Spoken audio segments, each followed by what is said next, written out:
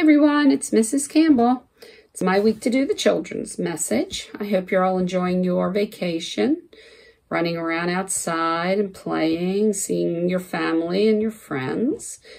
Uh, in our scripture lesson this week from the book of Mark, chapter 6, Jesus' disciples have come back from spreading Jesus' word and teaching people all about Jesus, ministering to the people. And they have been so busy, they haven't even taken a break to eat, to sleep. They've just been going, going, going, going.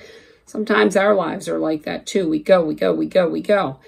And we don't realize that we haven't taken us taken a minute to stop and relax.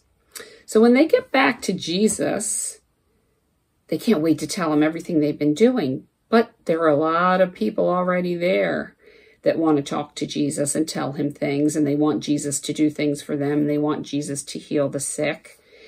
And so Jesus sees his disciples and he wants to hear all about what they've been doing. So he says, Come on, let's get away. We'll go to a quiet place where we can rest and relax, and I can hear what, what's been going on. And so off they go.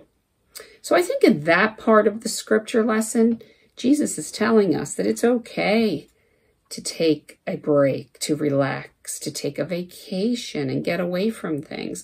We don't always need to be going and going and going. I think we also need to remember, though, that even when we're relaxing or we're away on vacation, that we can always take the time to think of Jesus and all that he's done for us and that he's tried to teach us. And we can give thanks to God that he gave his son, Jesus, to us. So I hope you're enjoying your summer vacation and that you are able to relax and not go, go, go, go, go every second. And take some time to remember Jesus and to thank him and to thank our Heavenly Father for all that they have done for us. Enjoy the rest of your summer vacation. I'm sure I'll be seeing you soon. Bye-bye.